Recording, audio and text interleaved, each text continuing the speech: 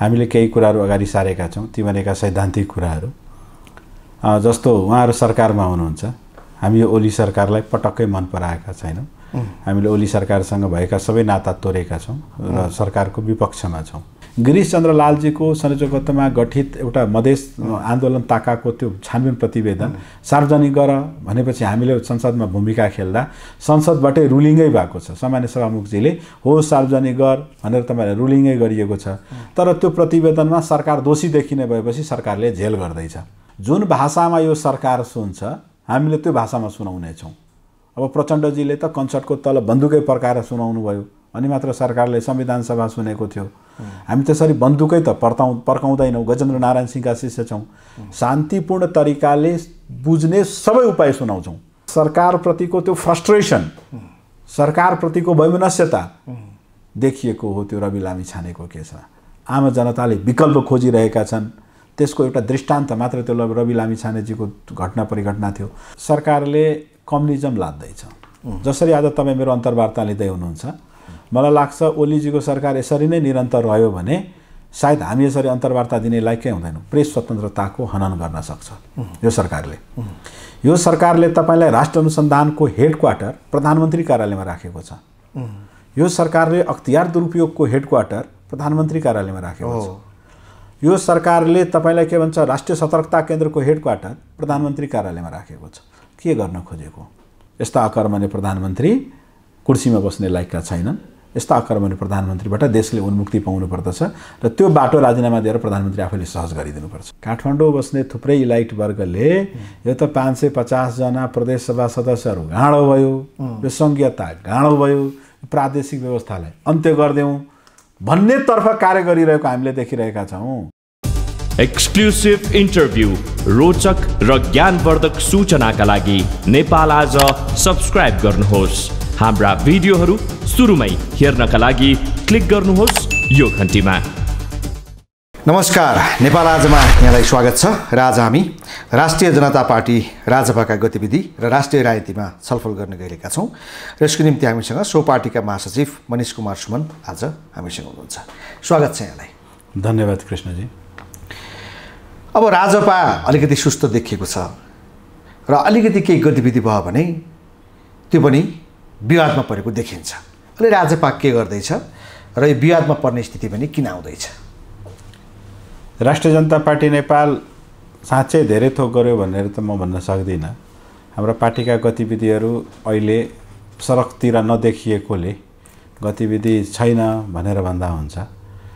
अहिले राष्ट्रिय जनता पार्टी नेपाल प्रदेश नम्बर दुईको चौबिस पच्चिसवटा नगरपालिका गाउँपालिका चलाइरहेको छ। अर्थात् मेयर उपमेयर हामी निर्वाचित छौँ। प्रदेश नम्बर दुईमा हामी सरकार हाँकिरहेका छौँ। प्रदेश सभामा पनि हाम्रो उल्लेख्य उपस्थिति छ। प्रतिनिधि सभामा बेलाको बेला हामीले सरकारलाई झकझक्याउने आम जनताका हितका कुराहरू बोलिरहेका छौँ जहाँ हाम्रो न्यून उपस्थिति छ। राष्ट्रिय जनता पार्टी नेपाल बाहिरी रूपमा गर्ने कार्यहरू यिनै गरिरहेका छन्। आन्तरिक रूपमा हामीले कार्तिकमा सत्ताइस अट्ठाइस र उन्तिस गते पार्टीको महाधिवेशन निश्चित गरेका छौँ निर्धारित गरेका छौँ। अहिले हामी त्यतातिर उन्मुख छौँ। बिचमा केही दिनदेखि हाम्रो वार्ता समितिले देशका सबै उपेक्षित शोषित उत्पीडित वर्ग समुदाय पार्टीहरूसँग सके एकीकरण नसके तपाईँलाई गठबन्धन भन्ने अभिप्रायका साथ वार्ताहरू पनि गरिरहेका छन्। र सो बिचमा अहिले सबभन्दा बढी चर्चा रहेको समाजवादी पार्टीसँग पार्टीको एकीकरणको केही यसो सुरुवात पनि भएको छ। यी र यस्तै हो। समाजवादी पार्टीसँगको एकीकरणको प्रक्रिया कहाँ पुगेको छ? कहीँ पुगेको छैन। पत्र पत्रिकामा आएका हल्ला जस्ता केही पनि छैनन्। सुरुका दिनमा यी प्रक्रिया धेरै लामोदेखि चलिरहेका छन्। सुरुका दिनमा समाजवादी पार्टीले हामीलाई पार्टी एकीकरण गरौँ न भनेर पत्राचार गर्यो। आजभन्दा करिब नौ दस महिना पहिले। हामीले पनि पत्र फर्कायौँ। ल ठिकै छ भन्ने कुरा। हामीले केही कुराहरू अगाडि सारेका छौँ। ती भनेका सैद्धान्तिक कुराहरू। जस्तो उहाँहरू सरकारमा हुनुहुन्छ हामी यो ओली सरकारलाई पटक्कै मन पराएका छैनौँ। हामीले ओली सरकारसँग भएका सबै नाता तोडेका छौँ र सरकारको विपक्षमा छौँ। एउटा त्यो कुरो दुइटै एउटै बाटोमा हिँडौँ भन्ने एउटा अर्को। अर्को तपाईँलाई उहाँहरू सैद्धान्तिक रूपले पुरै प्रत्यक्ष निर्वाचित राष्ट्रपति प्रणाली खोज्नुहुन्छ।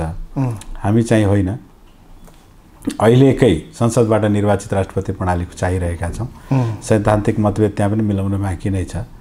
त्यस्तै हामीले अहिलेको निर्वाचन प्रणाली जुन छ विस्तृत निर्वाचन प्रणाली त्यतातर्फ हामी मानिबसेका छौँ। उहाँहरू चाहिँ होइन पूर्ण समानुपातिक निर्वाचन प्रणाली हुनुपर्छ भन्ने मान्यता राख्नु भएको छ। अर्थात् सैद्धान्तिक पनि अहिले केही मिलिसकेको छैन। सबभन्दा ठुलो कुरा भनेको पार्टीका नेता कार्यकर्ताको समायोजन हो। अर्थात् पार्टीका कुन नेता कहाँ बस्ने कसको अध्यक्ष हुने को कसको अध्यक्षतामा समितिको प्रारूप के हुने जिल्लाहरूमा साङ्गठनिक प्रारूप के हुने यी सबै विषयमा छलफलहरू केही सीमित एकाध पटक भएका छन्। सुरुमा पत्र आदान प्रदान गऱ्यौँ पछि हामीले एजेन्डा आदान प्रदान गऱ्यौँ हो त्यही आदान प्रदानमा सीमित छ। अहिले त्योभन्दा अगाडि केही बढेको छैन। तर हामीले सुनेअनुसार त राजपामा एक थरी नेताहरू पार्टी एकता गर्नुपर्छ भन्नेमा ठुलै जोड गरिरहेका छन् र अर्को थरी चाहिँ पार्टी एकता गर्नु हुँदैन। भन्नेमा लागेका छन्। मुख्य कुरा त्यहाँ अल्झ्याछ भन्छ नि त्यो के हो? अब यो त तपाईँलाई वार्ता समिति राजेन्द्र महतोजीको अध्यक्षतामा गठित भएको छ। खास राजेन्द्र महतोजीसँग वार्ता र संवाद भएको छ। तसर्थ राजेन्द्र महतोजी मात्र अग्रसर एकीकरणको लागि देखिनु भएको छ। अरू अग्रसर नरहेकोले अथवा वार्ता बैठकहरूमा नगर्नु जानुभएकोले उहाँहरू नचाहेको जस्तो देखिएको छ। त्यस्तो केही छैन। विचार व्यक्ति व्यक्तिका हुन पनि सक्छन् तर निर्णय गर्ने छजना अध्यक्ष तिन तिन गरी बाँडिएका छन् महन्त ठाकुर अनिल झा राजकिशोर एकातर्फ होइन? अर्कोतर्फ राजेन्द्र महतो शरदसिंह भण्डारी र महेन्द्र यादव। उहाँहरूको चाहिँ यो फरक फरक किता त्यहीभित्र विभाजन भएको हुनाले त्यसको चाहिँ व्यक्तिगत विचारहरू हुन सक्छन् तर संस्था दल सङ्गठनभन्दा ठुला कोही पनि होइनन्। व्यक्तिगत व्यक्तिगत के विचार छ भन्नुभन्दा पनि पार्टीले भोलिको दिनमा एकीकरण गर्ने निर्णय गर्यो भने विश्वास राख्नु सबै मिलेरै निर्णय गरेका होला। एकीकरण गर्नु हुँदैन भन्ने पक्ष पनि त्यहाँ छ होइन? त्यस्तो पक्ष कोहीको छैन। मैले देखेँ छजना अध्यक्ष मण्डलमा तिनजना चाहिँ एकीकरण जरुरी छैन। होइन एकीकरण गर्नु नै हुँदैन भन्ने पक्षमा त कोही पनि छैनन्। कोही कोहीलाई महाधिवेशनभन्दा पहिले एकीकरण गरौँ र सिङ्गो दुइटै पार्टीको एकीकृत महाधिवेशन गरौँ विचारमा छन्। कोही चाहिँ होइन हामी पनि आफ्नो साङ्गठनिक प्रारूपहरू बनाइहालौँ अर्थात् महाधिवेशन गरौँ जिल्ला अधिवेशन नगर अधिवेशन गाउँ अधिवेशन सबै अधिवेशन सम्पन्न गरौँ। तत्पश्चातको स्ट्रक्चर लिएर पार्टी एकीकरण गरौँ। भन्ने कुरामा छन्। विश्वास राख्नुहोस् मधेसका जनताले एकीकृत पार्टी खोजेका छन्। तसर्थ हामीले निर्वाचनसम्म आगामी आम निर्वाचन स्थानीय निर्वाचनसम्म नै एकीकृत अथवा गठबन्धित एउटा प्रारूप आम जनता समक्ष दिन्छौँ। अहिले चाहिँ ठ्याक्कै एकीकरणै गर्छौँ कुरो मिलिसकेको छ। निर्वाचन अघि नै भन्नाले कुन निर्वाचन? स्थानीय निकायको निर्वाचन। स्थानीय निकायको निर्वाचन अघि नै एक हुने? त्योभन्दा पहिले हामीले एकीकृत पार्टी अथवा गठबन्धन यस्तो प्रारूप दिन्छौँ। एक्लै पार्टी चुनावमा जाँदैन। हामी आफ्नै पक्षसँग मिल्ने विचार मिल्ने नीति मिल्ने सिद्धान्त मिल्ने थुप्रैसँग भनेपछि तपाईँहरूको जो कार्तिकमा महाधिवेशन छ महाधिवेशन अगाडि हुन्छ कि समाजवादीसँगको एकीकरण अगाडि हुन्छ भन्ने कुरा अहिले क्लियर भएको छैन। स्थानीय निर्वाचन त अझै तिन वर्ष बाँकी छ। स्थानीय निर्वाचन अगाडि मैले त्यत्रो समय दिनुभयो तपाईँले। तिन वर्षभित्रमा तिन वर्षभित्रमा धेरै राजनीतिक उथल पुथल हुन्छ र तिन वर्षपछि यसरी जसरी वामहरू गठबन्धित भएर समय तिन वर्षको टाइम दिने। तपाईँहरूले त महाधिवेशन अगाडि नै मुख्यत अरूसँगको एकीकरण प्रक्रिया जारी नै रहला ती आफ्नो ठाउँमा छन्। तर समाजवादीसँगको त के हुन्छ कि हुन्न भन्ने ठाउँमा पुग्छ कृष्णजी मैले दिएको जवाब अहिले तपाईँलाई सबै जति उत्पीडित पार्टीहरू छन् जति गठबन्धनहरू छन् सबैको हितमा बोलेको। तपाईँले समाजवादी पार्टीसँगै भन्नुभएको छ त्यसको बारेमा पनि तत्काल एकीकरण हुन्छ कि हुँदैन भनेर त हामी दुई तिन दिनमै टुङ्ग्याउँछौँ। तर एकीकरण नभए पनि समाजवादीसँग हाम्रो कुनै दुराशय झगडा अथवा प्रतिस्पर्धा भन्ने कुरो हुँदैन।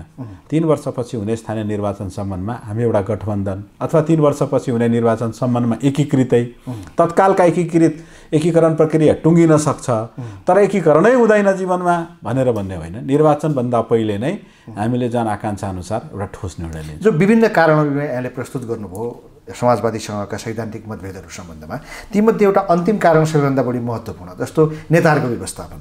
महन्त ठाकुरलाई कहाँ राख्ने बाबुरामलाई कहाँ राख्ने उपेन्द्रलाई कहाँ राख्ने राजेन्द्र महतोलाई कहाँ राख्ने राजकिशोर अनिल झाहरू पनि छन् होइन? अब सरसिंह तपाईँहरू हुनुहुन्छ होइन?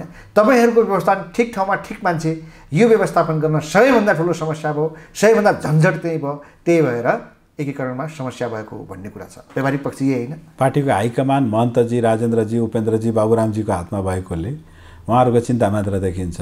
तर साँच्चै भन्यो भने एकीकृत पार्टीमा मेरा गाउँ कमिटीका साथी कहाँ बस्ने क्षेत्रीय कमिटीका साथी कहाँ बस्ने मेरा जिल्ला कमिटी कहाँ बस्ने अहिले मेरो जिल्ला कमिटी राष्ट्रिय जनता पार्टी नेपालको जिल्ला कमिटीमा यही केन्द्रीय प्रणाली छ अर्थात् छजना अध्यक्ष छन् जुन पालै पालो संयोजकत्व गर्छन्। जसरी केन्द्रमा छ। हो तिनीहरू कहाँ बस्ने? उहाँहरूको त एउटा मात्र जिल्ला अध्यक्ष छन् हाम्रो त जिल्ला अध्यक्ष छजना छन्। हो। छजना मात्रै त्यो सबै व्यवस्थापन कसरी हुने ती सबै चिन्ता लिएका छौँ। महन्त ठाकुरजी मात्रको कुर्सी फिट हुँदैमा पार्टी एकीकृत हुने होइन। बाबुरामजीको कुर्सी फिट हुँदैमा पार्टी एकीकृत हुने होइन। सबैको सम्मान पार्टीका सबै नेता कार्यकर्ताको सम्मान स्थापित हुने गरी पार्टी एकीकरण भयो भने तत्क्षण पनि हुन सक्दछ। तर यी प्रक्रियाहरू लामा छन् धेरै तपाईँलाई जटिल छन्। तसर्थ मैले भनेको अहिले नै हुन्छ कि हुँदैन भन्ने टुङ्ग्याई त दुई तिन दिनभित्रै लाग्छ। तर निर्वाचनसम्ममा एउटा ठोस गठबन्धन अथवा एकीकृतै पार्टी तपाईँ हेर्न सक्नुहुन्छ। तपाईँहरूको त राजनीतिक समितिको बैठक पनि बस्न सकेका छैन नि। राजनीति समितिको बैठक तेह्र गते आयोजित थियो। तर हाम्रो राष्ट्रिय जनता पार्टी नेपालको एउटा प्रचलन के रहेछ भने पहिला अध्यक्ष मण्डलमा आफूमा सहमति गर्ने त्यो केही अध्यक्षसँग सहमति गर्न बाँकी थियो। तसर्थ उहाँहरूले होइन नबोलाउनुहोस् पहिला हामी टुङ्ग्यौँ अध्यक्षहरूमै एउटा विचार निर्माण गरौँ। त्यसपछि राजनीतिक समिति बैठक गरौँला भनेर के भन्छ सुझाएपछि वर्तमान संयोजकजीले बैठक स्थगन गर्नुभयो। हो ठ्याक्क बैठकको पूर्व सन्ध्यामा हुन बैठककै दिन हाम्रो संयोजकजीहरूसँग अनौपचारिक भेटवार्ताहरू भएका थिए तर ती बैठक थिएन।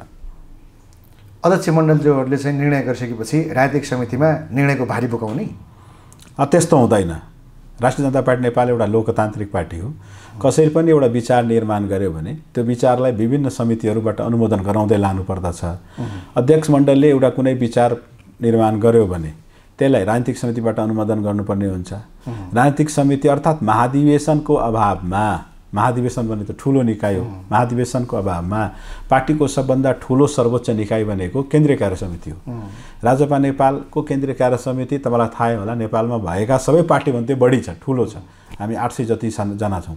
हो त्यसको बैठक पनि आवधिक रूपमा सम्भव नभइरहेको हुन्छ।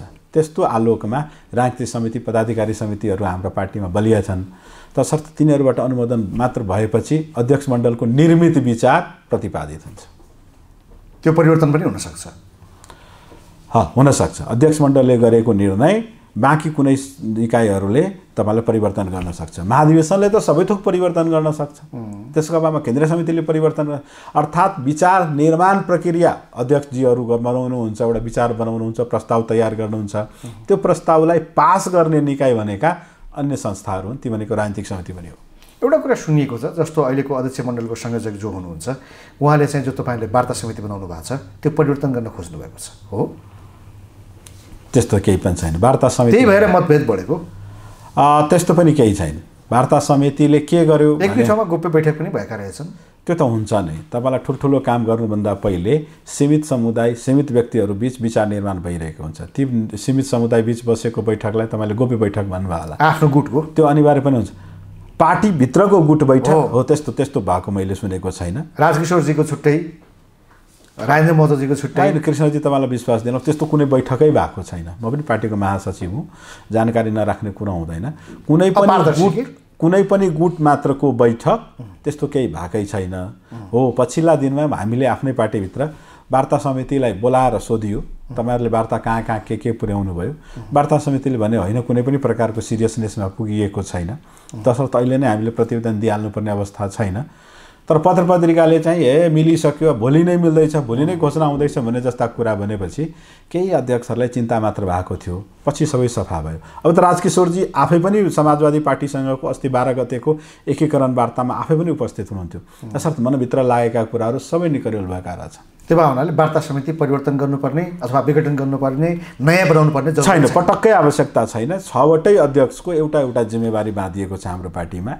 राजकिशोरजीलाई प्रशिक्षण समिति दिइएको थियो। कार्यकर्तालाई प्रशिक्षित गर्ने। अनिल कुमार झाजीको संयोजकत्वमा स्थानीय निकाय परिचालन समिति बनाइएको छ। महेन्द्र राईजीको नेतृत्वमा तपाईँलाई के भन्छ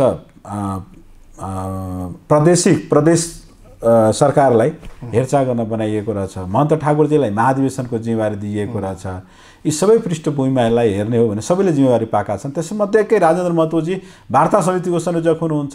तसर्थ कुनै परिवर्तन गर्नुपर्ने आवश्यकता अहिले छैन परिवर्तन हुँदैन। अब यो महाधिवेशनका लागि तपाईँहरूका जो स्थानीय प्रदेश जिल्ला स्तरीय अधिवेशनहरू हुनुपर्ने हो त्यो सकिसक्यो? छैन सकेको। अहिले सकेको छैन। हामी तपाईँलाई अहिले महाधिवेशन कार्तिकमा गर्नुभन्दा पहिले पहिले त हामीले महाधिवेशनको प्रारूप गर्नुपर्ने हुन्छ। एक थोरो विचार के आइरहेको छ भने पार्टी एकीकरणको अवस्थामा छ। तसर्थ भएका संरचनाहरूका बिच नै एउटा ठुलो अधिवेशन गरौँ त्यसैलाई महाधिवेशन भनौँ। अर्को थरीकै विचार छ भने होइन त्यसरी हुँदैन रहेछ।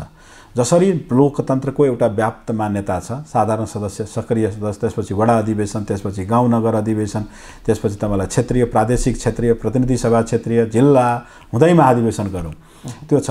त्यो दुईवटा मध्ये के हुन्छ भन्ने कुरो अहिले निश्चय भइसकेको छैन। दुइटै मध्ये जुनै भए पनि हामीले तिथि तोक्ने हो। मिति यति तर कार्तिकमा तपाईँहरूको महाधिवेशन हुने सम्भावना एकपटक पनि देखिँदैन। टर्छ जस्तो छ। टर्दैन मैले दुईवटा विधि भने पहिलो विधि भनेको तपाईँलाई अहिले भएकै संरचनाहरूलाई एक ठाउँ भेला गरेर महाधिवेशनको प्रारूप दियो भने त्यो त जहिले पनि हुनसक्दछ त्यो तिन चार दिनभित्र पनि हुनसक्दछ र अर्को जुन प्रारूप भने साधारण सक्रिय वडा अधिवेशन गाउँ नगर त्यसपछि प्रादेशिक क्षेत्र त्यसपछि प्रतिनिधि क्षेत्र यो प्रक्रियामा गयो भने तपाईँले भने जस्तै कार्तिक अलिक अपुग समय हुन सक्दछ। किनभने तपाईँको असोज महिना त चाडपर्वले भरिएको छ होइन? तपाईँहरू त्यसमै व्यस्त हुनुहुन्छ घर घर जानुपर्छ कार्यकर्ताहरू त्यहाँ जानुपर्छ। हो हो। अब अनि असोज महिना त्यहाँ गइसकेपछि तपाईँहरूलाई दुई तिन हप्ताभित्र सब तयारी गरेर त्यो गर्न सक्न भ्याउनुहुन्छ त्यही भनेको मैले अर्को जुन जटिल प्रक्रिया छ नि त्यो जटिल प्रक्रिया तहत हामीले महाधिवेशन गऱ्यो भने कार्तिकको समय अपुग हुन सक्दछ। मैले पनि स्वीकारेँ। फेरि महाधिवेशनको अर्को मिति तोक्ने। महाधिवेशनको मिति तोक्न सकिन्छ। अहिलेसम्म त हामी महाधिवेशनको अर्को मितिको बारेमा कल्पना समेत गरेका छैनौँ। विगतमा सारिएको सत्ता विगतमा दुई पटक सारिसकिएको छ। फेरि पनि सार्न सकिन्छ। आवश्यकता पऱ्यो होइन महाधिवेशन गर्नु छ दुई चार दस दिन सारेरै भयो भने विधि प्रक्रिया अनुसार भयो भने त्यो सार्नुलाई ठुलै बैमानी ठुलै त्यो के भन्छ घटना परिघटना हामीले लिएका छैनौँ। महाधिवेशन हुनुपर्दछ। कार्तिक सत्ताइस गते कसैको जन्मदिन पनि होइन त्यही दिन हुनुपर्दछ भनेर। कार्तिक सत्ताइस गते कुनै ठुलै भगवान्को त्यो पनि होइन। कसैले पण्डितजीले सायद पनि देखेको छैन। महाधिवेशन हुनुपर्दछ। सत्ताइस गते होस् अथवा चार दिनपछि होस्। तर पार्टीको महाधिवेशन हुनुपर्दछ भन्ने मान्यता सबैको छ। त्यो चाहिँ त्यस्तै परिस्थिति आइपऱ्यो तिन चार महिना अझ सक्न सक्छ। परिस्थिति अनुसार त तपाईँलाई देशैमा कुनै ठुलै महाभूकम्प आइदियो भने अथवा भवितव्यति भयो भने अहिलेको जस्तै परिस्थितिमा? अहिलेको परिस्थिति मैले भनिसकेँ। साँच्चै साधारण सदस्यता सक्रिय सदस्यता वडा नगरवाला प्रोसिड्युरमा गइयो भने कार्तिक सत्ताइस अपुग होला। त्यो मिति बढ्न सक्छ। अब मैले तपाईँलाई सुरुमै सोधेको थिएँ राजपाको गतिविधिको बारेमा। सरकारलाई दिएको समर्थन त फिर्ता लियो होइन? त्यसपछि राष्ट्रिय राजनीतिमा या भनौँ यो सरकारका हिसाबमा तपाईँहरू चाहिँ हारे जस्तो देखिएको कि सरकारका अगाडि। कहाँ हेर्नुभयो हारेको? तपाईँ समर्थन फिर्ता लिनुभयो त्यसपछि केही पनि भएन। न सरकारलाई केही असर पर्यो न तपाईँहरूका मुद्दाहरूको कहीँबाट सम्बोधन भयो। चुपचाप आफ्नो कुर्सीमा बस्नुभएकोहरू के देखियो र? छैन। तपाईँले देख्नुभयो होला हाम्रो सबभन्दा ठुलो माग भनेको रेशम चौधरीको शपथ थियो। रेशम चौधरी निर्वाचित सांसद हुन्। तिनै निर्वाचितको प्रमाणपत्र पाउनु पर्दछ। उनी दोषी निर्दोषी हुन् भन्ने कुरो त अदालतले छिनोफानो गर्ने हो। सम्मानित अदालतमा बहस चलिरहेको छ। सरकारको हातमा छँदा पनि छैन। तर उनी सांसद हुन्। उनी लोगो लगाउन पाउनुपर्छ उनी सांसदको हैसियत प्राप्त गर्न सक्नुपर्छ उनले प्रमाणपत्र पाउनुपर्छ उनी शपथ लिन पाउनुपर्छ भन्ने जुन हाम्रो मान्यता थियो हामीले सरकारलाई झुकाइ झाड्यौँ हेर्नुभयो होला सरकारले उनलाई शपथ ग्रहण गराए। यद्यपि सम्मानित अदालतको फैसलाबाट उहाँ संसदमा उपस्थित हुन सक्नु भएको छैन। तपाईँलाई यादै होला कृष्णजी। हामी तपाईँलाई सर्लाहीमा भएको अस्तिको घटना एउटा निर्मम हत्याको बारेमा हामीले आवाज उठाउँदा संसदै अवरुद्ध भयो र संसदले एक प्रकारको हामी साथ सम्झौता गरेर अनि मात्र संसद सुचारू भएको छ। तपाईँलाई स्मरण होला गिरिशचन्द्र लालजीको संयोजकत्वमा गठित एउटा मधेस आन्दोलन ताकाको त्यो छानबिन प्रतिवेदन सार्वजनिक गर भनेपछि हामीले संसदमा भूमिका खेल्दा संसदबाटै रुलिङै भएको छ। सामान्य सभामुखजीले हो सार्वजनिक गर भनेर तपाईँलाई रुलिङै गरिएको छ। तर त्यो प्रतिवेदनमा सरकार दोषी देखिने भएपछि सरकारले झेल गर्दैछ। त्यो जेल कति आँट लगाएर लोकतन्त्रमा सबभन्दा सार्वभौम सत्ता सम्पन्न निकाय भनेको संसद हुँदो रहेछ। र त्यो संसदमा रुलिङ भइसकेपछि सरकारको जेल जाल जेल धेरै चल्नेवाला छैन। संसदको रुलिङ भइसकिएको छ। संसदको रुलिङ पनि भएको धेरै भइसक्यो तै पनि उनीहरूले प्रतिवेदन त्यो त छैन त्यो त तपाईँलाई अब लाजै नलाग्ने सरकार लाजै नलाग्ने। संसदको आदेश नमान्ने सरकार अदालतको आदेश नमान्ने नागरिक लोकतन्त्रमा विश्वास नराख्ने जनता अथवा नेता यिनीहरू त लाजै नभएका जनता उनीहरूले यो सरकारलाई जवाबदेही बनाउनु पऱ्यो नि त। संसदप्रति उत्तरदायित्व बना उत्तरदायी बनाउनु पऱ्यो जनताप्रति होइन? सांसदहरूले भनेका कुराहरूप्रति जवाबदेही बनाउनु पऱ्यो अब यो लाभ छैन भनेर चुप लागेर बस्ने। चुप लागेका छैनौँ। चुप लागेका छैनौँ। तर अब पटक्कै निर्लज जस्तो जवाबदेहिता नै निर्वाह नगर्ने पा सरकारलाई अझै के गर्न सकिन्छ भनेपछि तपाईँले चाहेको र मैले बोल्न खोजेको सडकको बाटो छ। दसैँ तिहारपछि हामी त्यो पनि अख्तियार गर्छौँ। अहिले सदनको बाटोले सरकारलाई हामी झुकाइरहेका छौँ। हामी मधेसका प्रत्येक कुराहरू मधेस आन्दोलनताका उठाइएका प्रत्येक कुराहरूदेखि लिएर संविधान संशोधनदेखि लिएर निर्मला पन्तको हत्या र बलात्कारको घटनादेखि लिएर तपाईँलाई के भन्छ वाइट बडी प्रकरण ललिता निवास त्यो सुन काण्ड सबैको बारेमा राष्ट्रिय जनता पार्टी नेपालले एउटा जिम्मेवार भूमिका निर्वाह गरेको छ। झन् म भनौँ अहिले संसदमा देखिएको प्रतिपक्ष त राष्ट्रिय जनता पार्टी नेपाल छ। नेपाली काङ्ग्रेस त प्रतिपक्ष छ कि सत्तापक्ष उनकै सांसदलाई थाहा छैन। ललिता निवासको कुरो उठाउँछ पछि आफै फस्ने देखेपछि चुप लाग्दा रहेछन्। उदेक त कहाँ लाग्छ कृष्णजी? शेरबहादुर देउवाजी त्यो संवैधानिक परिषदको सदस्य हुनुहुन्छ। जुन परिषदले यो देशमा राजदूत नियुक्ति गर्छ जुन परिषदले यो देशमा न्यायाधीश नियुक्ति गर्छ त्यो परिषद बैठकमा प्रति प्रमुख प्रतिपक्षीको नेताको हैसियतले शेरबहादुरजी पनि सदस्य हुनुहुन्छ। तर शेरबहादुरजीलाई खबरै नगरी ती सबै नियुक्ति हुँदा रहेछन् शेरबहादुरजी चुइक्क बोल्नुहुन्न। भनेपछि कुनै के कहाँ सम्झौता आउँदो रहेछ थाहा छैन। तर राजपा नेपालले त्यस्तो कुनै प्रकारको सम्झौता गरेको छैन।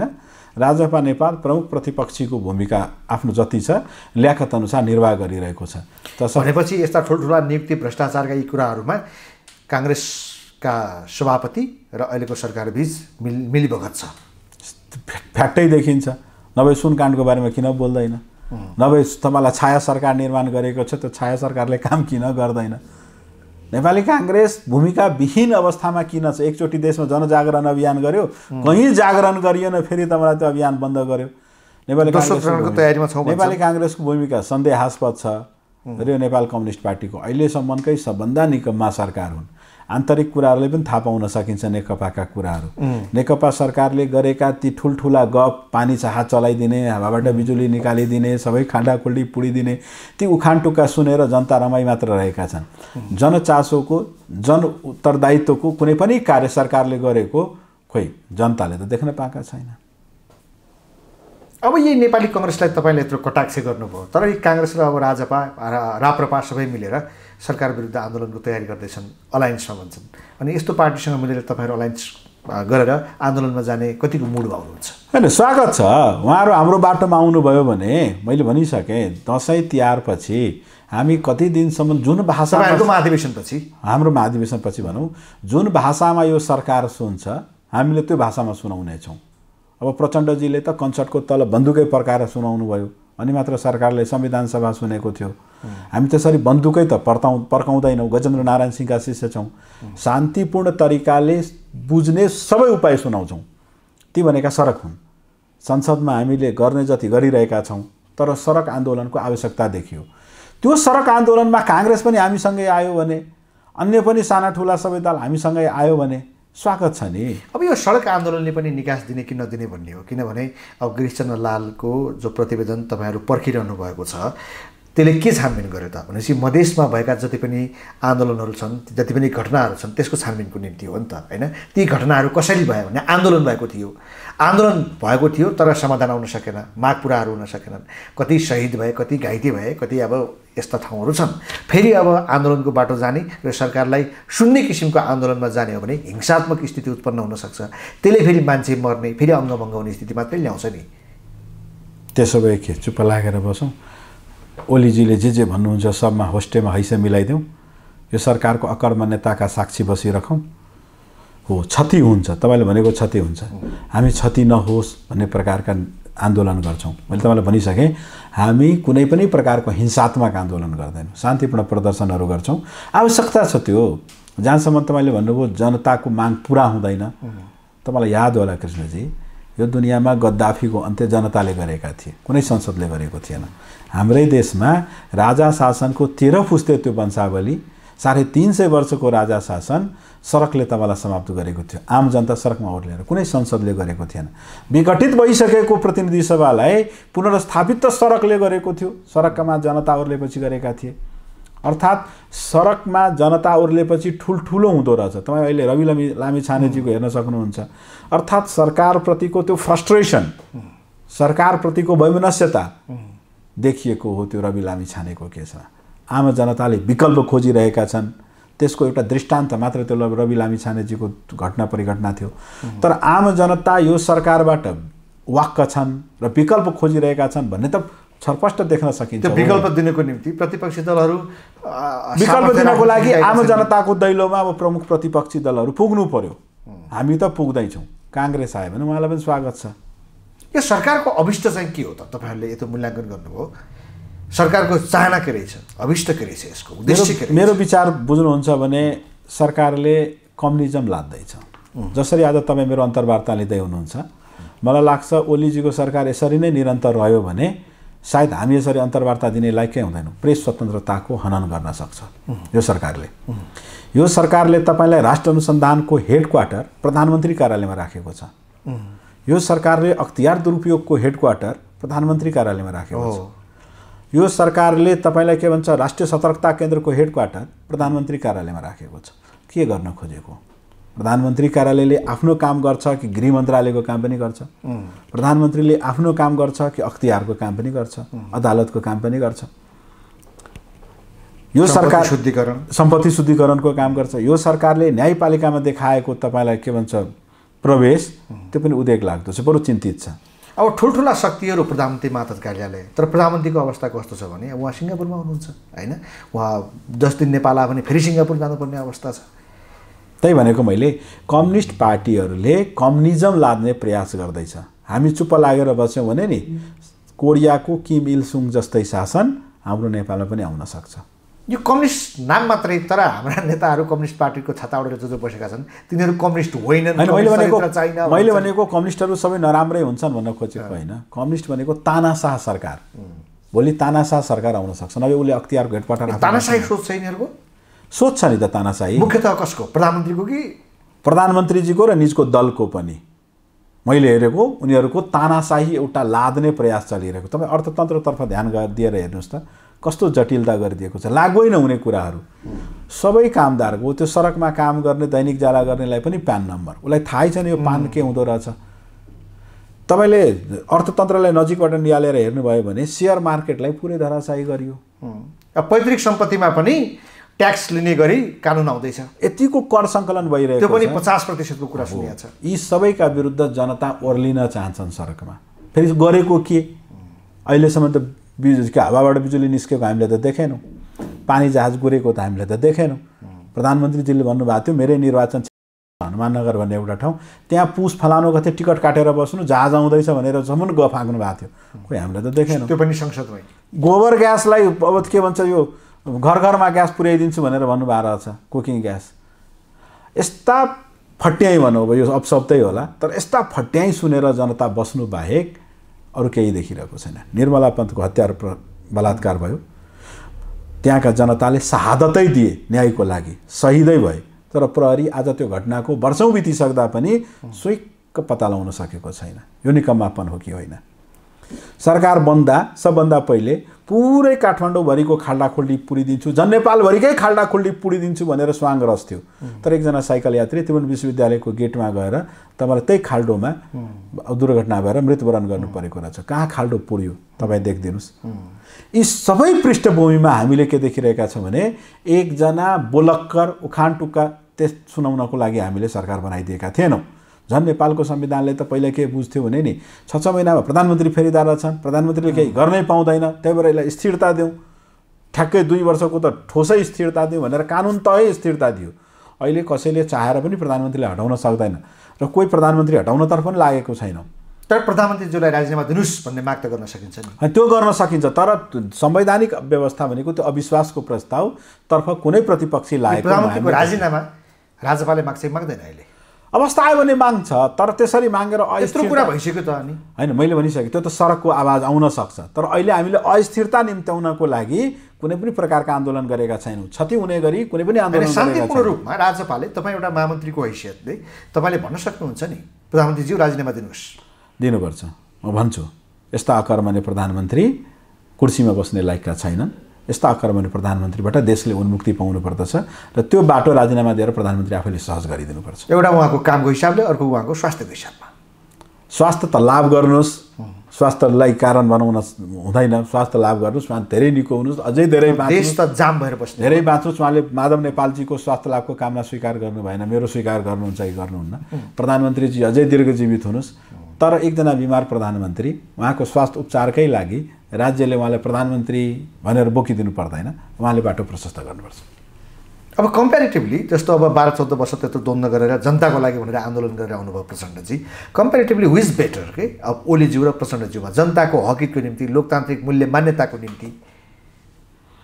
अब यो उनको तुलना गर्नुभन्दा म त प्रष्ट के भन्छु भने नि बहुदलीय प्रजातन्त्र आएपछि बनेका त्रिचालिस चौवालिसजना प्रधानमन्त्री एउटै वर्ग समुदायका भएका रहेछन्। मरिचमान सिंह अन्तिम प्रधानमन्त्री हुनुहुन्थ्यो। बहुदलीय प्रजातन्त्रभन्दा आउनुभन्दा अगाडि एकजना जनजाति। नभए बाँकी सबै त तपाईँलाई खस आर्य र ब्रा ब्राह्मण। त्यसमा पनि तपाईँलाई पुरुष मात्र। न त फरक लिङ्गका भए न त फरक समुदायका भए। म त के भन्छु भने नि यो प्रयास विफल भयो। अब एकजना फरक लिङ्ग र फरक समुदायबाट प्रधानमन्त्री दिनुपर्दछ। एक हो त्यसले सोचिरहेका त्यसले। के गर्छ? फरक लिङ्ग र समुदायबाट आएको प्रधानमन्त्रीले के यहाँ कायापलट गर्न सक्छ? त्यसले केही गर्छ भन्ने त अब ऊ व्यक्तिमा निर्भर गर्दछ। नभए अहिले देशको आवश्यकता के छ भने नि हाम्रो जस्तो सुन्दर देशलाई अहिले आम जनताले समानुपातिक समावेशी हेर्न खोजेका छन्। आम जनता। सिस्टम पो बनाउने सिस्टम भनेको त्यही भनेको सिस्टम भनेको। जुनसुकै जात धर्म समुदायको मान्छे आए पनि उसले एउटा व्यक्तिले के चेन्ज गर्न सक्छ? गर्न सक्दैन। तर यदि सिस्टम बनाइदिने हो भने चाहिँ? तर कस्तो छ भने नि कृष्णजी यो देशको मोर देन टु थर्ड पिपललाई देश मेरो हो भनेर त बडा घमण्ड छ। राष्ट्रगान बज्दैमा उठ्छ सयौँ थुङ्गा फुल्का। त राष्ट्रप्रति बडा समर्पण छ। तर राज्यप्रति उसको अपनत्वता छैन। हामी काठमाडौँका केही सीमित लाइट वर्गलाई हेर्छौँ जो यो राज्य मेरो हो जसको पहुँच छ जसका परिवारका व्यक्ति सिडिओ साहब प्रहरी सरकारी जागिरमा छन्। तर more than two third person जो पहाडका कुना कन्दरामा बस्छन् जो देहातमा बस्छन् जो फरक समुदायका छन् त्यसलाई यो राज्य मेरो हो भन्ने अनुभूति हुन सकेको छैन एकदम म तपाईँलाई उदाहरण दिन्छु। अब मधेसको चालिस डिग्रीको गर्मीमा एकजना दाउरा सुरुवाल र कोट लाएर जबरजस्ती बसेका व्यक्तिले न्याय सम्पादन गरिरहेका हुन्छन् सिडिओ भएर न्यायाधीश भएर। अनि त्यहाँको सेवाग्राहीलाई लाग्छ खोइ त मेरो देश म जस्तै देख्ने मेरो भाषा बुझ्ने त यहाँ छँदै छैन राज्य। उनको लागि राज्य भनेको त्यो त्यहाँको न्यायाधीशजी हो। उनको लागि राज्य भनेको त सिडिओ साहब हो। उनको लागि राज्य भनेको त स्वास्थ्य कार्यालयको त अहेव साहब हो। हो त्यो आमूल परिवर्तन हामीले खोजेका छौँ। देश साँच्चै चार वर्ण छत्तिस जातको हो भने संविधानै संशोधन गरेर जसरी अहिले छ नि लैङ्गिक हामीले संशोधन गरेका छौँ। राष्ट्रपति पुरुष भयो भने उपराष्ट्रपति महिला हुनुपर्ने। हो त्यसरी नै त्यो सिस्टम लागू गर्न सकियो भने तपाईँले अहिले खोजेको प्रधानमन्त्री एकचोटि फरक समुदायबाट ल्याउँ न। एउटै समुदायका व्यक्ति भएपछि देशै एउटैको हो भन्ने जस्तो भान गयो। सबैको देश हो भनेपछि फरक समुदायका व्यक्तिलाई बनाऊ नेकपाभित्रै पनि फरक समुदायका व्यक्ति हुन्छन् होला नि। नेकपालाई नै हामी कहाँ पछिल्लो समय यो जातीय कुराहरू साम्प्रदायिक कुराहरू होइन? यस्ता कुराहरू उठाएर यो सम्पूर्ण नेपालीहरू बिच एउटा प्रेम हो सद्भाव हो त्यो खलबल्याउन खोजिँदैछ भन्ने प्रेम र। सद्भावको नाममा यो तितो सत्यलाई अस्वीकार गर्न सक्दैन। समाज अझै पनि वर्ण प्रथामा छ समाज अझै पनि जाति प्रथामा छ समुदाय प्रथामा छ। नभए एउटा मुस्लिम समुदायको व्यक्ति मुस्लिम सम्प्रदायभित्र मात्र विवाहबारी उनको आफ्नै के भन्छ मृत्युवरण गर्ने उपायहरू उनका आफ्नै संस्कारहरू किन छ? एकजना जनजाति समुदायभित्र फरक समुदायमा बिहाबारी एक प्रकारले निषेधै छ। फरक समुदायसँगको प्रथाभन्दा उनको समुदायको प्रथा भिन्नै छ।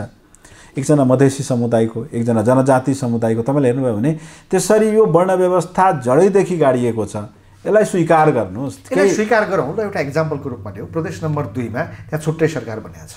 होइन? राजपा र समाजवादीको। सङ्घीय समाजवादी फोरम थियो त्यो बेला।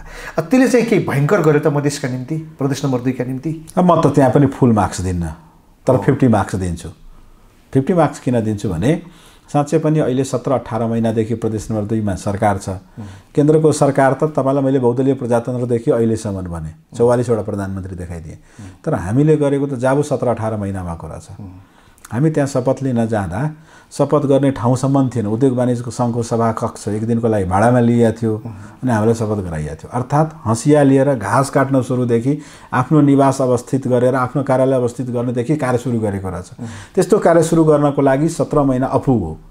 तर पनि सत्र महिनामा हामीले गरेका कामहरू जुन हामीले बिसवटा जति विधेयक पारित गरेका छौँ ती भनेका प्रदेश प्रहरी विधेयक छ। त्यो भनेको तपाईँलाई सबैको प्रहरी सबैको न्यायालय सबैको राज्य सत्ताको झझल्को दिने गरी हामीले केही कानुन ऐनहरू बनाउन सफल भएका छौँ। लोकसेवा विधेयक पारित गरेका छौँ। हामीले तपाईँलाई करार ऐन पारित गरेका छौँ। सरकारको गतिविधिहरू प्रहरी आफै भर्ना गर्ने कर्मचारी आफै भर्ना गर्ने? गर्ने। गर्ने।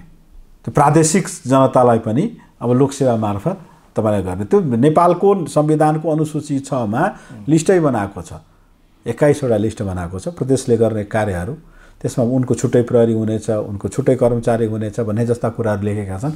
अब हामीले त्यसैको सदुपयोग गरेर अब त्यहाँ छुट्टै कर्मचारी सङ्घीय कानुनहरू सबै रूपमा नआइसकेको अवस्थामा प्रदेश दुईले जुन हिसाबबाट कदम चालिरहेको छ यसले त टसल बढाएको छ नि केन्द्र सरकारसँग? प्रदेशको अधिकार पनि हो त्यो। नेपालको संविधानलाई कार्यान्वयन नगर्नु मैले सडक नबनाउनु के भन्छ निर्मला पन्तको हत्यारा पत्ता नलाउनु जस्तैको एउटा विफलता हो केन्द्र सरकारको। केन्द्र सरकार त्यही संविधानको कसम खाएर प्रधानमन्त्री छ। तर त्यो संविधानलाई कार्यान्वयन गर्ने ठाउँमा अर्थात् संविधानका सापेक्षित कानुनहरू कानुन मन्त्रालयले तुरन्त बनाइदिनु पर्थ्यो। त्यो भनेको प्रदेश प्रहरी ऐन त्यो भनेको लोक सेवा ऐन त्यो भनेको करार कर्मचारी ऐन त्यो भनेको दर्ता ऐन यी जस्ता कानुनहरू जसको सापेक्षित ऐन बनाउनु पर्ने थियो त्यो तुरन्त बनाइदिनुपर्छ यसको चाहिँ नबनाउनुको इन्टेन्सन खराब हो कि अथवा यो प्रक्रियामै भएर हो? इन्टेन्सन खराब हो कृष्णजी।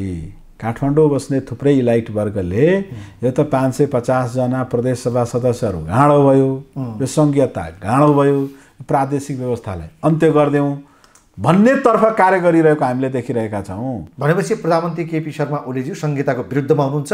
यो सङ्घात्मक व्यवस्थालाई उहाँ डिजल्भ गर्न चाहनुहुन्छ। पक्षमा भएको त तपाईँले पनि देख्नु भएन होला। केपी ओलीजी आफ्नो जीवनमा सुरुदेखि अहिलेसम्म कहिले यो संविधानको यो के भन्छ संहिताको पक्षधर हुनुहुन्न थियो। अहिले पनि उनको कुनै व्यवहारले संहिता पक्षधर उहाँलाई देखाइदिएन। अब कानुन तुरन्त बनाएर सङ्घहरूलाई पूर्व माओवादी छ नि जो नेकपा भनेर गएको छ मिसिएर एमाले ऊ यो पूर्व नेकपाका प्रचण्ड लगायत उहाँको टिम चाहिँ संहिताप्रति कति वफादार इमान्दार पाउनु भएको छ। अब त सबै एउटै हुन् तर प्रचण्डजीप्रति एउटा कुरो के थाहा छ भने नि मलाई अन्तरिम संविधान जुन दिन बन्दै थियो अन्तरिम संविधान बनिरहँदा सङ्घीयता यो मुलुक अब सङ्घीय लोकतान्त्रिक गणतन्त्र हुनेछ भन्ने शब्द त्यो प्रचण्डजी उहाँले एक्काइस हजारभन्दा बढीजनालाई यही सङ्घीयताको लागि बलिवेदीमा चढाएका थिए। तर अन्तरिम संविधानमा त्यो जानी जानी नलेखेका थिए बिर्सेका थिए। जानेरै बिर्सेका थिए। तपाईँलाई स्मरण होला तत्क्षणको नेपाल सद्भावना पार्टी आनन्दी देवी अर्थात् भरत विमल यादवले सात दलको तर्फबाट एउटा नोट अफ डिसेन्ट लेख्नु भएको थियो। कि त्यो संहिताको लागि हामी यति लड्यौँ। अहिले अन्तरिम संविधानमा संहिता छैन। यो पाप हो यो गलत हो भनेर। पछि तपाईँलाई स्मरणै होला। दुई हजार त्रिसठीमा ठुलो मधेस आन्दोलन भएपछि गिरिजाप्रसाद कोइराला ठुल्ठुलो चस्मा लाएर संविधानलाई संशोधन गर्ने बाचा गर्नुभएको थियो। पहिलो संशोधन गरेर संहिता छिराइएको थियो। तपाईँले प्रचण्डजीको उच्चारण गर्नुभयो। प्रचण्डजी त्यो अन्तरिम संविधान निर्माणकर्ताका एकजना जनक हुनुहुन्थ्यो। किन बिर्सिनुभयो? उहाँ मनमा केही बगलीमा केही भन्ने व्यक्ति संहिताप्रति कटिबद्ध छ भनेर मैले कहाँ उनको एक्ज्याक्टली अहिले उहाँको अभिव्यक्ति कस्तो पनि आउँछ भने यस्तो किसिमको संहिता हामीले खोजेका होइनौँ। यस्तो किसिमको हामी संहिता चाहिँ खोजेको हो तर जुन प्रकारको संहिताको हामी अभ्यासमा छौँ ए यो हामीले खोजेको होइनौँ। उहाँ यसो प्रदेश दुईतर्फ पनि जानुहुन्छ प्रदेश दुईको सरकारप्रति पनि तितो पोखेर आउनु भएको छ होइन? हो। यो सबै चिजले त संहिताप्रति उहाँको असन्तुष्टि र यसलाई परिवर्तन गर्न खोजेको जस्तो बुझिन्छ नि त। पूर्णतया त पहिला पुरै सङ्घीयता पूर्ण सङ्घ संहिताप्रति नै उनको असन्तुष्टि थियो। अब तपाईँले भने जस्तै संहिताको प्रकार र विविधताप्रति उनको असन्तुष्टि छ। यस्तो होइन उस्तो भइदियो हुन्थ्यो। सुरुमा भन्नको लागि कसले गरिदिने। प्रचण्डजीको आफै सरकार छ अहिले।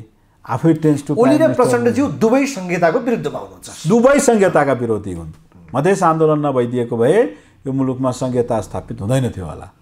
भनेपछि नेकपा भन्ने पार्टी नै संहिताको विरुद्ध एकदम संहिताको विरुद्ध यो भने यो राजपा मात्रै काङ्ग्रेसको पनि त्यति अब डिटर्मिनेसन देखिँदैन संहितामा। संहिता त आम जनताले जबरजस्ती ल्याइदिएपछि स्वीकारेका व्यक्ति हुन्।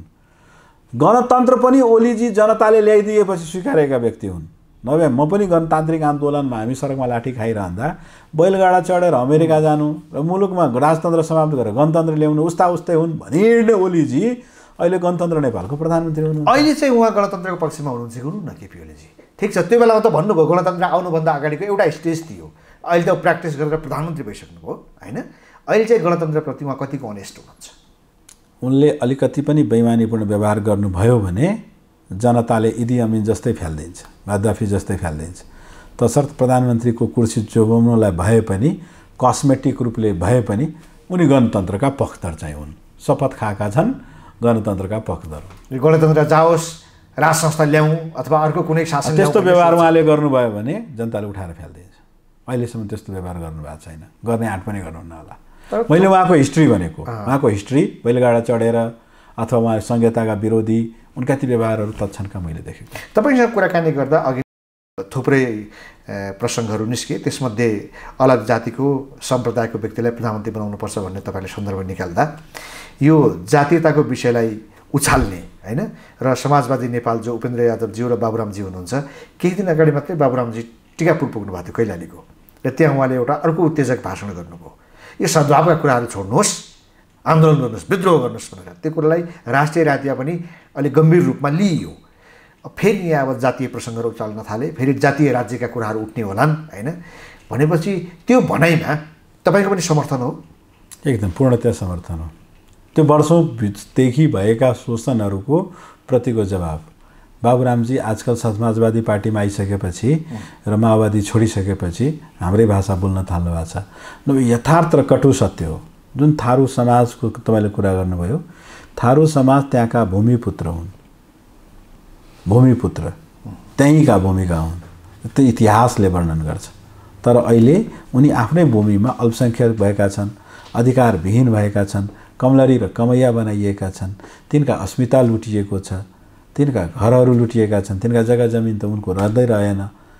यो सबै परिवेशमा आज थारू समुदाय उठ्नुपर्ने आवश्यकता छ। त्यो उठ्ने विधि भनेको अब त्यही हतियार लिएर फेरि लक्ष्मण नेउपानेलाई हत्या गरिदियो भन्ने जस्तो उठ्नु हो मैले त्यही भन्न खोजेँ होइन त्यस्तो त्यस्तो त्यस्तो उनीहरूलाई अधिकार प्राप्तिको निम्ति सचेतना दिने अधिकार दिने शिक्षित बनाउने स्वास्थ्य सेवा दिने ती कुराहरू आफ्नो ठाउँमा छन् जागरुक बनाउने विभिन्न शैलीहरू छन्। तर जुन प्रकारले एउटा टिकापुर काण्ड भइसकेका छ दोस्रो टिकापुर काण्डको अर्को पृष्ठभूमि रचिँदैछ कि भन्ने आशंका भयो कि? त्यो हत्या हिंसातर्फ त म केही भन्न चाहन्न तर मैले प्रधानमन्त्री फरक समुदायबाट बनाउनुहोस् जुन भनेको थिएँ नि त्योसँग तार जोड्छु। साँच्चै पनि शासन व्यवस्थामा थारू समुदायको उल्लेख्य भूमिका सुनिश्चित गरिनुपर्दछ। समानुपातिक समावेशता मार्फत। मधेसी समुदायको सुनिश्चित गर्नुपर्दछ। आदिवासी जनजातिको सुनिश्चित गर्नुपर्दछ। हो त्यसरी सुनिश्चित गरियो भने तपाईँ फरक हेर्न थाल्नुहुन्छ। तपाईँ फरक हेर्नुहोस् न। कृष्णजी तपाईँ त लामो समयदेखि पत्रकारिता गरेको व्यक्ति। तपाईँ पहिलेको संसदहरू हेर्नुहोस् र संविधान सभा जब समानुपातिक संसद बन्न थाल्यो त्यसपछिका हेर्नुहोस्। एकजना कलावती देवी दुसाद एक्लै औँठा छाप्थिन् लेख्न पनि जान्दिनथिन्। तर विभिन्न समितिका बैठकहरूमा संसदका बैठकहरूमा सरकारमा मन्त्री नै बनिन् मन्त्री परिषदमा। उनले होइन पहिला मेरो अधिकार खोइ मेरो समुदायको अधिकार खोइ भन्ने जस्ता रडाको गरेपछि आज केही भए पनि संवैधानिक कानुनी हिसाबले तपाईँलाई समावेशिता झझल्को देखिन थालेको। त्यसैलाई सुनिश्चितता खोजेका छौँ हामीले। त्यो सुनिश्चितता भनेको थारू समुदायको लागि पनि साँच्चै थारू समुदाय एकीकृत भएर उठेर भूमि उनकै थियो। आज उनी यसको अर्थ चाहिँ जातीय राज्य बनाउनुपर्छ भन्ने लागेन। होइन जातीय राज्य बनाउनुपर्छ भन्ने त छैन तर सङ्घीय राज्यमै र प्रादेशिक राज्यमा पनि सबै जात जाति समुदायको व्यक्तिको अधिकार सुनिश्चित गर्नुपर्दछ। अहिले हेर्नुहोस् न एकै थरका व्यक्ति सिडिओ साहब सतहत्तरवटै जिल्लामा। के हो देश तपाईँलाई सबैको लाग्छ? एकै समुदायका व्यक्ति कर साहब। सबै जिल्ला। त्यो त अब लोकसेवा भन्ने छ त्यसमा पास गर्नु पर्यो अनि लोकसेवाको बेइमानी हेर्नुहोस् न लोकसेवाले अस्ति विज्ञापन गरेको छ तपाईँलाई आफ्नो इतिहासकै सबभन्दा बढी सङ्ख्याको विज्ञापन गर्यो। तर उसले के गर्यो भनेपछि होइन समावेशी समानुपातिकता ला ल्याउनै पर्दैन भन्ने जस्तो हतार हतारमा उसले गरेको छ। उसको विरुद्ध एक प्रकारको तपाईँलाई जनताहरू आन्दोलन गरिरहेका छन्। अर्थात् यो नियोजित तरिकाले चलाख मान्छेहरू धुर्त्यै गरेर सबैको अधिकार बाँड्न नचाहेका हुन् तर अधिकार बाँड्नै पर्छ। छिनेर लिन्छ अब। यो चौतर्फी रूपमा अव्यवस्था चौतर्फी रूपमा असन्तुष्टि जहाँ पनि एउटा व्यथिति जस्तो उत्पन्न भएपछि यो व्यवस्थामाथि नै अहिले असन्तुष्टि आइरहेको छ होइन? धेरै ठाउँमा यो संहिता पनि भएन यो गणतन्त्र पनि भएन भन्ने यी आवाजहरू तपाईँले सुन्नु भएको छ कि छैन? संहिता भएन भन्ने त सुनेको छु। गणतन्त्र भएन भन्ने त थोरै केही केही राजावादीहरूले बोलेका छन्।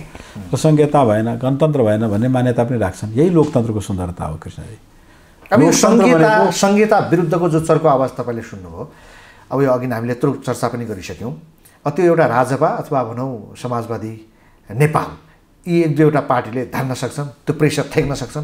होइन दुईवटा पार्टी मात्रको चाहना छैन। आम जनताको चाहना छ। काठमाडौँमा केही इलाइट वर्गहरू जुन बन्द कोठामा बस्छन् राति सुत्ने बेलामा एक चुस्की लिन्छन् र उनले जुन संहितालाई गाली गर्छन् उनले जुन गणतान्त्रिक व्यवस्थालाई गाली गर्छन् उनको सोच तिन करोड नेपाली जनताको सोच। रिजल्ट पनि त दिएन नि तपाईँ स्थानीय तहदेखि माथिल्लो तहसम्म हेर्नुहोस् जहाँ पनि भ्रष्टाचारै भ्रष्टाचार देखिन्छ जनप्रतिनिधिहरू आफ्नै सुविधा बढाउनुतिर लागेका छन्। व्यतिथि त छ नि त। मैले भने व्यतिथि छैन भन्न खोजेको होइन। तर एउटा कुरा भन्नुहोस् न लोकतन्त्रभन्दा राम्रो सिस्टम अर्को कसैले दिन सकेको त छैन। राजनीतिमा सबभन्दा राम्रो सिस्टम भनेको लोकतन्त्र हो। आज हामीले भ्रष्टाचार बिना पनि लोकतन्त्र हुन्छ नि। संहिता बिनाको लोकतन्त्र अर्थ राख्दैन। फेरि मैले भने नि म एकजना सप्तरीको मान्छे सप्तरी जिल्लाको पुल पुलेसो बनाउन मैले काठमाडौँ घचघच्याउनु पर्थ्यो। सप्तरी जिल्लाको विकेन्द्रीकरणमा जाने हो त्यही भनेको मैले। स्थानीय निकायहरूलाई बलियो बनाउनु पर्दछ प्रादेशिक सरकारहरूलाई बलियो बनाउनु पर्दछ। अहिले जुन केन्द्रीय सरकार मात्रसँग शासन सत्ता छ र केन्द्रका ती छब्बिस तिसजना मन्त्रीहरूको बुद्धि मात्र तपाईँलाई सबभन्दा बढी बुद्धिमान भएर देखिएका छन् केन्द्रको प्रधानमन्त्री मात्र सबै देखिएको छ काठमाडौँ भनेको मात्र तपाईँलाई नेपाल देखिएको छ यहाँ बोलिएका कुरा मात्र नेपालले बोलेको जस्तो देखिएको छ हो त्यसलाई विकेन्द्रीय गर्नु पर्दछ मैले अघि पनि भने पहाडका कुना कन्दरा देहात सब तपाईँलाई सुदूरपश्चिम सुदूरपूर्वका सबै जनताले यो राज्य मेरो हो भन्ने अनुभूत गर्नुपर्दछ। अर्थात् राज्य सञ्चालनमा सबैले समान सहभागिता पाउनुपर्दछ। त्यसै त्यही भएर भनेको किन प्रचण्ड र ओलीमा अल्झेका छौँ? उनीकै पार्टीमा कोही अनि हाम्रा प्रादेशिक सरकारहरूले त्यो अनुभूति चाहिँ आफ्नो क्षेत्रमा बाँड्न सकेका छन्? अहिले सत्र अठार महिनामै त्यस्तो केही देख्न त पाइएको छैन। म धेरै सन्तुष्ट छैन। मैले अघि पनि निवेदन गरेको थिएँ। तर केही केही झझल्को पाइएको छ। जस्तो म आफ्नो प्रदेश दुईको सरकारको अनुमा भन्छु हामीले कानुन पास गरेर अपना न्यायालय अपना विद्यालय अपनी अलिकति प्रादेशिक सरकार। जस्तो त प्रदेश नम्बर दुई नै देखिन्छ नि। बाँकी त सब चुपचाप छन् केही देखिँदैन नि। यो त भएकै उहाँहरूले। पनि काम गर्नुभएको छ चर्चा प्रदेश नम्बर दुईको बढी छ। मैले अस्ति हेरेँ प्रदेश नम्बर पाँचमा पनि तपाईँलाई के भन्छ लोकसेवा आयोग गठन भएको रहेछ। मैले अस्ति हेरेँ प्रदेश नम्बर तिनमै टोटल बजेटको विकासमा मात्र तपाईँलाई त्रिपन्न प्रतिशत बजेट खर्च गरिएको रहेछ। तपाईँलाई प्रदेश नम्बर सातको आज पढ्दै थिएँ त्यो कर्णाली प्रदेशको। जहाँ के भन्छ गाडी नै जाँदैन तिनको लागि गाडी खरिद गरिएको छ त्यो गाडीहरू अहिलेसम्म एजेन्सी अर्थात् गतिविधि सबैले गरेका छन्। तर प्रदेश नम्बर दुई सङ्घीयताको जननी भएकोले चर्चा अलि बढी छ जनता केन्द्रित भएर जनताका मुद्दा उठाउने प्रदेश चाहिँ कम भयो। अहिले कमै छ भन्नुपर्दा हुन्छ। कस्तो छ भने कृष्णजी? भारतमा यसरी प्रादेशिक व्यवस्था आएपछि तिन निर्वाचनसम्म आम जनताले साँच्चै पनि विधानसभा भन्ने पनि कुनै ठाउँ छ विधायक पनि केही हुँदा रहेछन् प्रान्तीय व्यवस्था पनि छ भन्ने कुरो हेक्का पाएको थिएन। यो त अहिले सञ्चार माध्यमको यो युगमा तुरुन्तै चिनेका हुन् आम जनताले। त्यहाँबाट बिस्तारै बिस्तारै सेटलमेन्ट अब हाम्रो देशको एउटा प्रमुख समस्याको रूपमा के दियो भने देखियो भने केन्द्रदेखि तलसम्म भ्रष्टाचार। अघि नै यहाँले भनिसक्नुभयो एनसेल वाइड बडी यी विभिन्न कुराहरूमा अब ललिता निवास हामी आन्दोलन गर्छौँ भनि नै सक्नुभयो होइन? अब यस्ता किसिमका भ्रष्टाचारमा को संलग्न छ भनेपछि ठुला ठुला नेताहरू पार्टीका महत्त्वपूर्ण व्यक्तिहरू होइन? महत्त्वपूर्ण अधिकारीहरू त्यसमा संलग्न देखिन्छन्। यो भ्रष्टाचार त घट्नुपर्ने हो बढ्नुको सट्टा। यो नघट्नुको कारण के होला? यसको कारण पनि तपाईँले साँच्चै अकर्मण्य राज्य लिनुपर्दछ। राज्य सत्तामा जो बसेका छन् तिनले अख्तियार दुरुपयोग निर्वाह उनीहरू नै संलग्न देखिन्छन् हो भ्रष्टाचारमा। हो ठिक ठिक भन्नुभयो तपाईँले। तर साँच्चै पनि हामीले जुन सिस्टमहरू बनाएका छौँ त्यो सिस्टम बन- बनायौँ भने सिस्टमहरूलाई बलियो गर्दै गयौँ भने त्यो भ्रष्टाचारहरू कम हुन्छन् बिस्तारै निर्मूलै हुन्छन्। भ्रष्टाचार यो समाजको अभिशाप हो। र सबभन्दा उदेक लाग्दो कुरो तपाईँ आफै भन्नुभयो। ठुल्ठुलै माछाहरू कहिलेकाहीँ हेर्छौँ हामी भ्रष्टाचारमा लिप्त भएको। अख्तियार दुरुपयोग निवारण आयोग एकदम अधिकार सम्पन्न आयोग बनाएका छौँ हामीले। त्यसले भ्रष्टाचार निर्मूल गरिदिन्छ भनेर कल्पना गरेका छौँ। तर तिनका काम गतिविधि पनि कहिलेकाहीँ ठुला माछातर्फ ध्यान नगएको अब अख्तियारकै आयुक्त पनि भेटिए। सेटिङमा चल्दो रहेछ नि यहाँ सबै त। कुनै एउटा फैसला गर्नु पऱ्यो न्यायालयको सेटिङबाट। अब भर्खरै यो एनसेलको हेर्नुहोस्। होइन? अब ठुला करदाताका कार्यालयले एक किसिमको निर्धारण गरेर दिएको थियो। एनसे सर्वोच्चले एउटा फैसला गर्यो मान्नुपर्ने के हुन्छ भने सर्वोच्चको फैसला अदालतप्रतिको सम्मान भनेर मान्नुपर्ने हुन्छ। ललिता निवासको पार्टीका महासचिवकै नाम यसरी मुछिएर? यो किसिमको कुराको नियन्त्रणको निम्ति चाहिँ के गर्नु पऱ्यो कि? नियन्त्रणको निम्ति कानुन। कानुनको कस्तो? कडा कानुन। कानुन कडा बनाउनु पर्दछ। भ्रष्टाचारलाई अधिकभन्दा अधिक दण्डित गर्नुपर्दछ कानुनहरू बलिया गयो भने दण्ड तपाईँलाई के भन्छ बढी पाइयो भने एउटालाई दण्डित गर्दैमा सिङ्गो समाज तर्सिँदो रहेछ अपराध कम हुँदो रहेछ। हामी कहाँ फाँसीको माग गर्न थालेका छन् कि धेरैले? त्यो कस्तो होला? फाँसीको माग त अहिलेसम्म गरिएको मैले त्यसै नेपालमा सुनेको छैन। बलात्कारलाई कहिलेकाहीँ आवेगमा मान्छे भन्छन् बलात्कारलाई फाँसी दे। कहिलेकाहीँ आवेगमा भन्छन् भ्रष्टाचारलाई फाँसी दे। तर त्यही त्यो पनि सोच्न सकिन्छ न सोच्न सकिने होइन। तर फाँसी मात्र होइन। त्यसलाई जीवितै राखेर भन्दा पनि कडाभन्दा कडा सजाय दिन सकिन्छ। त्यसरी दियो भने समाज सुधारतर्फ हुन्छ त्यसको निम्ति त राज्य संयन्त्रमै सरकारमै बस्ने नेताहरूमा भर पर्ने कुरा भयो। सिधा कुरा हो जसको हातमा राज्य छ उसले बनाउने हो विधि। बनेको विधिलाई इम्प्लिमेन्ट गर्ने उसैले हो। तसर्थ सरकारमा इच्छा शक्ति हुनु पर्यो सरकार इच्छा शक्तिपूर्ण देखिएन। अहिलेका सरकारहरूमा आफै भ्रष्टाचारमा चुर्लुमा डुबेको जस्तो देख्यो। तपाईँले भनिहाल्नुभयो सरकार सञ्चालक दलकै महासचिवको नाम मुछिएको छ त्यो ललिता निवासमा। यो पनि एउटा अचम्म छ जस्तो अघि नै यहाँले अब प्रधानमन्त्रीले मार्ग प्रशस्त गर्नुपर्छ भन्नुभयो। अब हिजोको दिनमा काङ्ग्रेस आखिर यिनै दलबाट आउने त हो नि होइन? अब यो कम्युनिस्टको सरकार जाला अर्को सरकार बन्ला त्यहाँ पनि त्यस्तै पात्रहरू हुन्छन् यिनै समस्याहरू हुन्छन्। अनि त्यो निश्चित छैन। आवधिक निर्वाचन भइरहेको थिएन। अहिले भएका निर्वाचनहरू पनि थुप्रै लामो समयपछि भयो। स्थानीय निकायको निर्वाचन त चौबिस वर्ष बिस वर्षपछि भयो। तपाईँलाई के भन्छ प्रतिनिधि सभा संविधान सभाको निर्वाचन पनि धेरै लामो समयपछि भयो। पहिलोचोटि को संविधान सभाको दुई वर्षको लागि निर्धारण गरिएको संविधान सभा छ वर्षपछि निर्वाचन भयो। अर्थात् आवधिक निर्वाचन नभइदिएर देखिने पार्टी भनेको काङ्ग्रेस कम्युनिस्ट देखिन्थे। अब त्यस्तो छैन। राजपा पनि भोलि शक्ति भएर निर्माण हुन सक्दछ। समाजवादी पनि भोलि नयाँ शक्ति भएर तपाईँलाई निर्माण हुन सक्दछ। आम जनताले विकल्प खोजिरहेका छन्। त्यसको पछिल्लो दृष्टान्त रवि लामी छानेको घटना हो। उनी यही स्थापित पार्टीहरूप्रति वितृष्ण छन्। जनता स्थापित पार्टीहरूप्रति वितृष्ण छन्। तसर्थ भोलि विकल्प हुन सक्दछ। अब अन्तिममा राजपाको अब यत्रो एकीकरणको कुराकानी त गऱ्यौँ तर के भने काङ्ग्रेससँगको एकीकरणको पनि चर्चा छ। त्यो सम्भावना छ? अहिलेसम्म कुनै प्रकारको त्यस्तो सम्भावना छैन। नेपाली काङ्ग्रेस हाम्रो बिच हामी दुइटै प्रतिपक्षी छौँ भन्नु बाहेक केही सामिप्यता छैन। केही पनि सामिप्यता छैन। उहाँहरू पनि प्रतिपक्षी हुनुहुन्छ झन् प्रमुख प्रतिपक्षी हुनुहुन्छ हामी पनि प्रतिपक्षी छौँ। तसर्थ इस्युगत कुराहरूमा हामी एक भएर संसदमा प्रस्तुत हुने गरेका छौँ। अरू केही सामिप्यता छैन। एकीकरणको टाढा टाढासम्म कुनै प्रकारको लक्षण छैन। हस् धन्यवाद। तपाईँलाई धेरै धेरै धन्यवाद एक्सक्लुसिभ इन्टरभ्यू रोचक र ज्ञानवर्धक सूचनाका लागि नेपाल आज सब्सक्राइब गर्नुहोस् हाम्रा भिडियोहरू सुरुमै हेर्नका लागि क्लिक गर्नुहोस् यो घन्टीमा